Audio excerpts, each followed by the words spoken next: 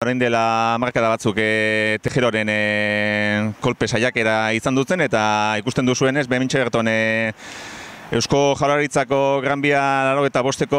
elbide hontan elkartu gara, salatzeko orain txubertan ere, ba, urkullu eta, eta Euskal Gobernua bera ere, ba, antzeko, antzeko kolpe antidemokratiko bat, antidemokratiko bat ematen ari direla, legearen kontra. E, aipatu barra dugu, e, urtarriaren e, batetik aurrera e, SMI delakoa e, euneko sortzi baten e, igozala, eta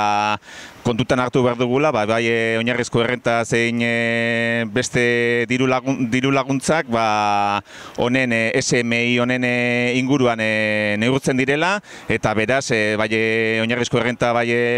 lanean zaudenen zaudenean eta bueno, incentibo sal empleo ditzen dena eta eta bai eta pentsioetarako ematen den komplementua bera ere euneko sortzi hortan hasi beharko litzatekela eta eta ba bueno, ingoan e, antzaenez e, gobernuari berari ondo ez datorkionean e, lege legea, ba, ba legeaz paso egiten du. Eta guk hori antidemokratiko txat eta kolpestatuta de jotzen dugu eta horretxegatik e, ona etorri gara. Aipatu barra dugu gainera, askenengo boste urte hauetan e, lagun, laguntzak e, kongelaturik e, egon direla eta araine ba, bueno, aurre, proiekt, aurre kontuen aurre proiektuan e, e, sartzen den eunek, e, bueno, bat koma bosteko igoera ba,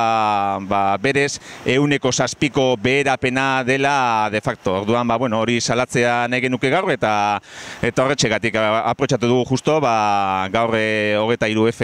data hori dela eta eta orain dela markada batzut gertatutako guztiarekin ere erlazionatu eta elkartu.